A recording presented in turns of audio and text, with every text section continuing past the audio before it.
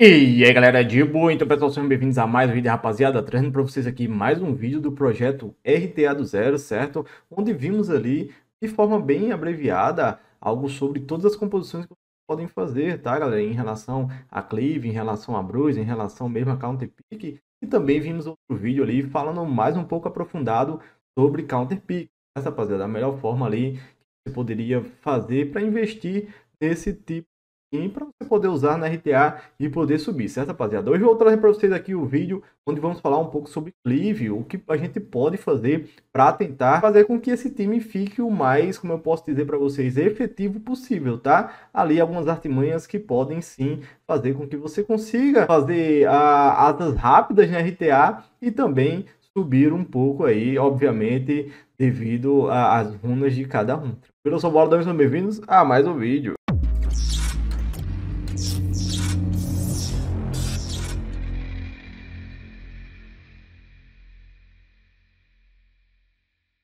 Então, pessoal, sejam todos muito bem-vindos. Como eu falei para vocês, vamos ver aqui hoje uma, de forma mais aprofundada como se pode montar o time Cleave para ser o mais efetivo possível, tá, rapaziada? Em relação às runas, em relação às mobs que vocês podem usar, até um pouco ali de artefato, para que a gente possa entender bem como funciona esse time, para que na hora de montar a gente realmente decida ali se vai querer montar Cleave ou não e de que forma vou poder montar esse time mais efetivo. Tranquilo? A gente começar, já aproveita, deixa o like, se você não for inscrito, deixa aí nos comentários também o que você achou, de que forma você faria melhor o time Cleave, de que forma você joga, se você joga de Cleave, tá rapaziada? Deixa aí nos comentários, sempre lembrando, rapaziada, para você que está cansado aí de detonar seu celular com SW, temos aí o emulador Mumu, o Mumu aí é o emulador que eu sempre uso para estar tá gravando nossos vídeos e lives aqui para vocês, tá, rapaziada? Então, quem não conhece ainda, tá o link aqui na descrição, dá um confere lá e depois deixa aí seu feedback. Maravilha? Então vamos lá, rapaziada. Aqui não falei para vocês, vamos falar um pouco hoje aqui no terceiro vídeo, tá? Do projeto RTA do Zero, onde vamos desbravar ali da melhor forma possível o time Cleave. Mobs aqui que eu vou dar exemplos para vocês e geralmente são usados para Cleave. Maravilha? Então vamos lá, rapaziada. Como é que a gente vai ah, dividir esse vídeo? Já a gente vai dividir mais ou menos ali umas três partes. Vamos falar um pouco dos mobs, vamos falar um pouco das runas e também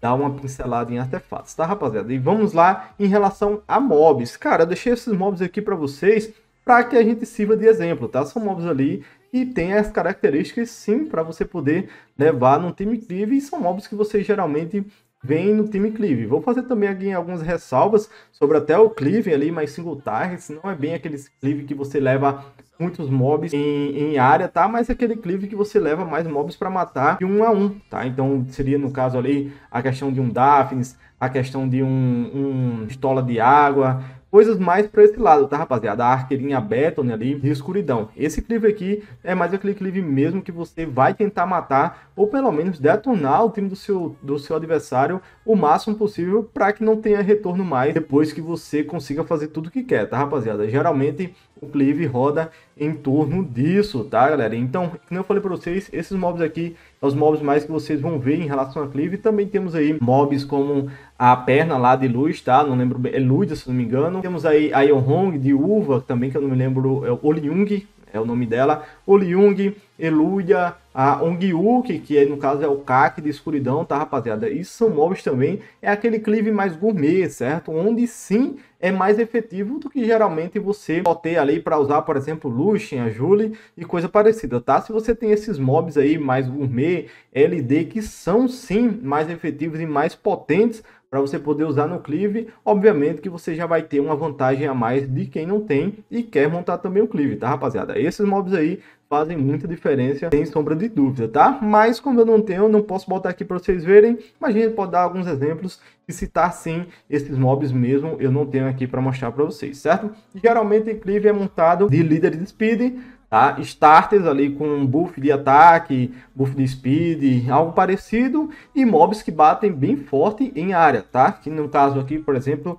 o Shimitai, que sua skill bate muito forte em área, ele tem líder speed 24, sua terceira skill bate muito forte. Temos aqui também um exemplo Mori, que sim, já vi Mori Nuke ali, para o meu tá mais ou menos, né? Só não tá com a taxa alta, para também fazer serviço de líder speed e dar um dano em área. Temos o Pisama com um dano em área mais alto. Temos aqui a Techar, que sim, também a Techar eu vejo muito em Cleave agora, pô, mas depois que ela tomou buff, ela tá funcionando melhor ali, certo? Pois ela consegue estripar um mob onde ela mira com a segunda skill, bate em área dando um dano muito bom e também pode stunar o adversário, tá rapaziada? Então até chá, Lucian Jury já é padrão, para puxar barra, o pessoal geralmente usa Bastet, usa aqui o Draco, tem aí o Liung, que eu falei para vocês. Para quem não tem tanto recurso, já vi muito usando a Mega, mas a Bastet é melhor que a Mega, obviamente, tá, rapaziada? O Kink aqui, certo? Já vi também sendo usado, já que eles colocam o Kink Nuker e ainda tem a passiva dele que pode atrapalhar seu adversário caso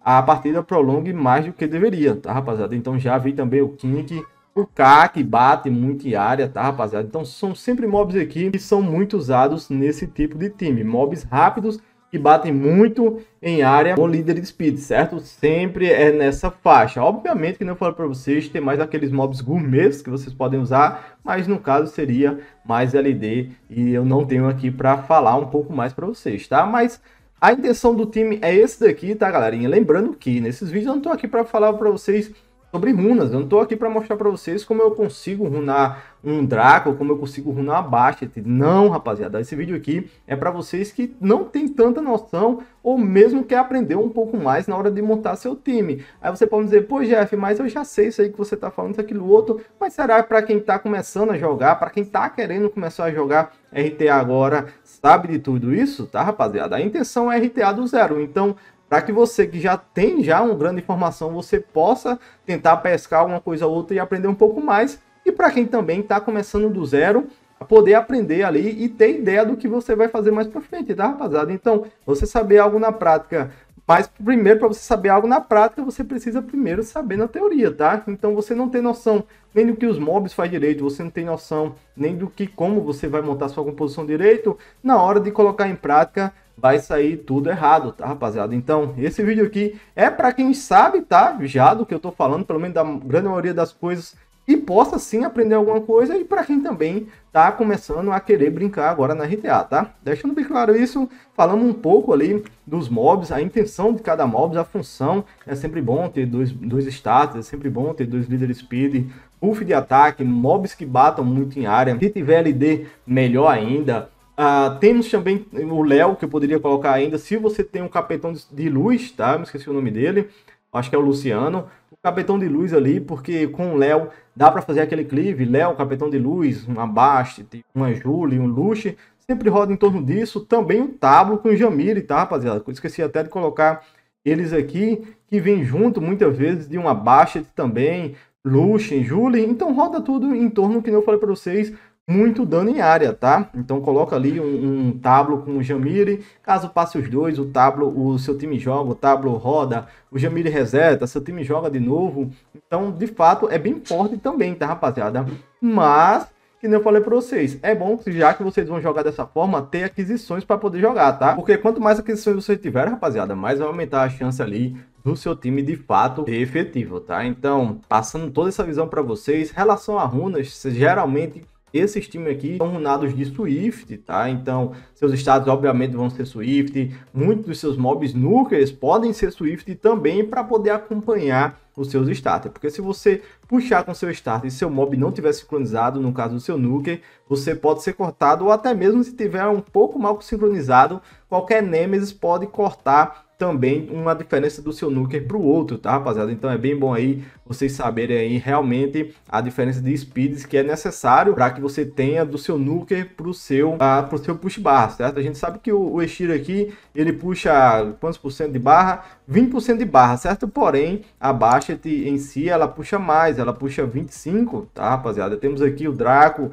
que já puxa mais um pouquinho. Então você, por exemplo, seus núcleos estão sincronizados com o seu Draco, mas não está bem sincronizado com sua baixa, já que sua baixa te puxa menos. Se o, o, o, time do seu oponente tiver muito rápido, pode ser que eles cortem, cortem da baixa, por exemplo, para um Shimitai, tá, rapaziada? Então, é essencial que vocês façam bem a, na, na hora de runar, vocês runem seus mobs com a melhor set Swifts possível, seus starters, e que runem também seus nukes de acordo com a speed deles para poder acompanhar seus starters, tá, rapaziada? Isso é importante, pois diminui muito a chance de você ser cortado e também de falhar o seu time porque você foi cortado, tá, galerinha? Ah, é sempre bom saber disso, pois vejo muito time ali falhando por detalhe, e detalhe vai besta, que vocês parar 5 minutos você pode conseguir consertar isso, tá? Então, como eu falei, geralmente esses times aqui são runados sim de Swift, tá? Já justamente para ser o mais rápido possível e bater o mais forte possível. Dessa forma, deixando o time do seu oponente tão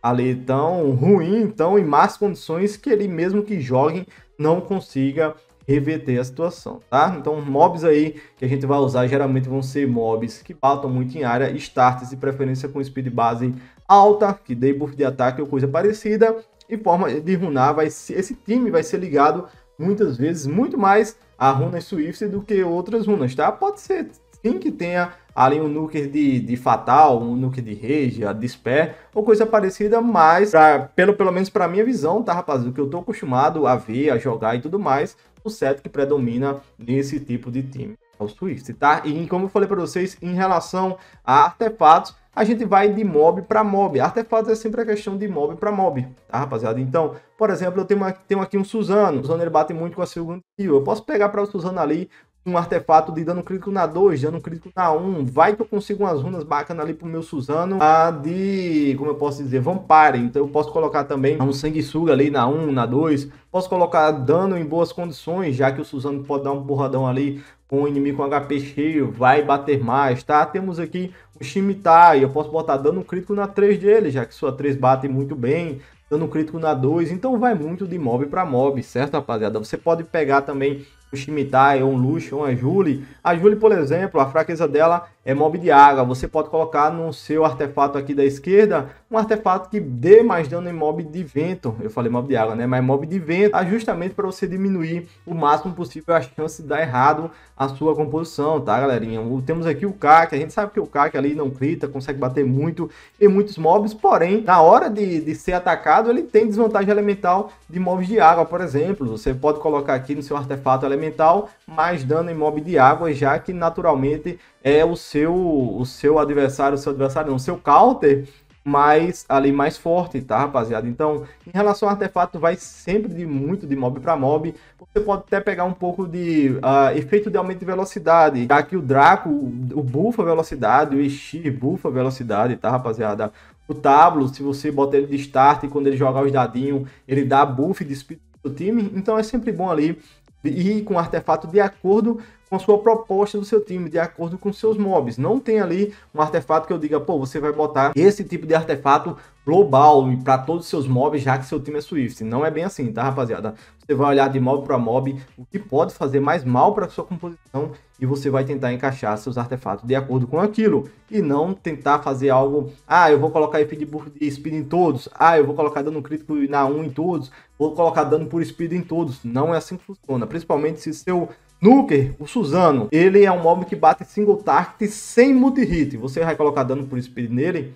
Não, porque vai estar tá errado, tá, rapaziada? Então, artefato, em relação ao artefato, você vai de nuker para nuker, de mob para mob, organizando sempre ah, os artefatos na sua composição de acordo com que possa aumentar a chance de efetividade da sua composição e não ah, colocar artefato aleatório, porque artefato faz sim hoje em dia muita diferença e isso pode ser a, diferente, a diferença entre você ganhar ou perder a partida. Pelo rapaziada, sempre lembrando que esse conteúdo aqui é para quem já sabe bastante das coisas e possa pescar uma dica melhor e também para quem está começando de fato, já que a proposta dos vídeos é RTA do zero. Sempre fazendo uma ressalva aqui para os ataques que são muito fortes, porém hoje em dia, infelizmente, não conseguem render tanto, já que a gente tem muita coisa ali ah, dando counter nesse tipo de time. E eu que sempre fui um grande, um grande apreciador desses times, eu sempre, eu sempre apreciei muito, eu sempre gostei muito de usar. Hoje em dia também não consigo usar, tá, rapaziada? Tem um vídeo até sobre esse tipo de time, vou deixar aí no finalzinho também, como vou deixar a playlist para vocês e dando um confere nesse RTA do zero, porque eu tô gostando, eu tô bem empolgado, eu tô bem empenhado em fazer esse vídeo para vocês, tentando, tentando trazer o máximo de conteúdo para vocês ficarem ligados, tá? Vai ter a, em ação, Jeff, na prática, com certeza, obviamente vai ter, tá, rapaziada? Mas é bom a gente saber primeiro na teoria, para depois a gente, quando colocar na prática, tentar não fazer cagada. Tranquilo? Espero que vocês tenham gostado. Gostou? Não esquece, like, vocês são ajuda demais. Deixa aí o que você achou dos vídeos, se você tá gostando, se não tá. E lembrando, rapaziada, link do Mumu tá sempre aí abaixo, para você que tá cansado de detonar seu celular com esse W. Tamo junto, valeu e... Alô!